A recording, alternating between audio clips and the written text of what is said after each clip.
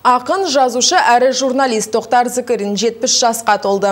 Осыған орай Сәбит Мұқанов атындағы облыстық кітапханада шығармашылық кеш ұйымдастырылды. Жиын барысында ақынның өмір өзегі атты өлеңдер жинағының тұсауы кесілді. Мерейтой иесінің шығармашылығы жайында Бердімұрат Баймұқан баяндайды. Кеш барысында ақынға өңір басшысы Құмар Ақсақаловтың атынан құрмет грамотасы табыс етілді. Салтанатты жиынға Тоқтар Нұрахметұлының үзеңгілес достары оның шығармашылығы мен бүгінгі жарық көрген кітабына тоқталып өтті. Ақын жолдастарының арасында шығармашылық таланты, терең ойы және адал еңбегімен құрметті екен. Тоқтардың өлеңдері ә, мен ойлаймын уақытқа сай.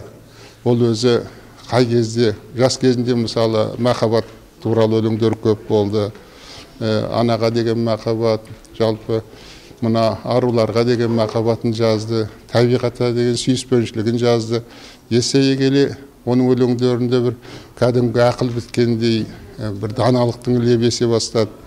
Қазіргі кезде жазып жатқан өлеңдерін оқысаңыз кілең өмір туралы өмірдің шындығы туралы мына тіршіліктің болмысы туралы өлеңдер өте көп.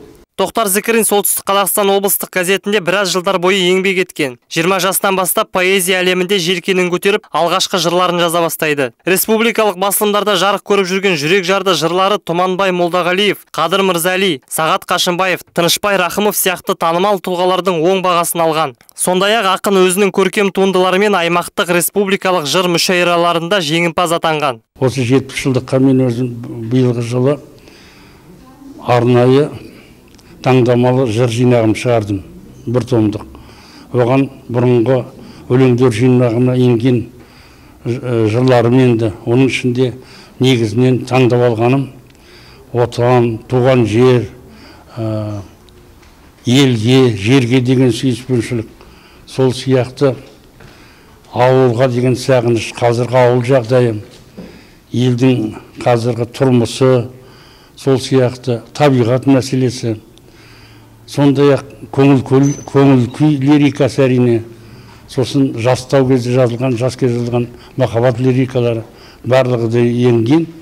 Осы күнге дейін ақынның қаламынан жан шуағы көңіл жиектері тіршілік тынысы және бұл бір дәурен сияқты жыр жинақтары жарық көрген. Бүгін міне бесінші өмір өзегі атты кітабының тұсауы кесілді. Кітапта талант иесінің таңдаулы туындылары жазылған. Ол мың данамен сатылымға шықпақ. Бердімұрат баймұқан данил тарасов муниципалдық телеарна.